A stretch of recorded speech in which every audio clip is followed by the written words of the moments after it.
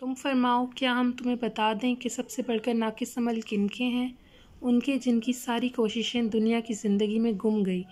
और वो इस ख्याल में हैं कि हम अच्छा काम कर रहे हैं।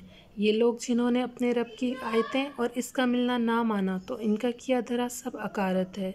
तो हम इनके लिए क़यामत के दिन कोई तूल कायम ना करेंगे। ये उनका बदला है जहन्नुम इस पर। कि इन्होंने कुफ्र किया और मेरी आयतें और मेरे रसूलों की हँसी बनाई। बेशक जो ईमान लाए और अच्छे काम किए, फिर दोस्त के बाग उनकी मेहमानी है, वो हमेशा उन्हीं में रहेंगे और उनसे जगह बदलना ना चाहेंगे। सूर्य कहफ़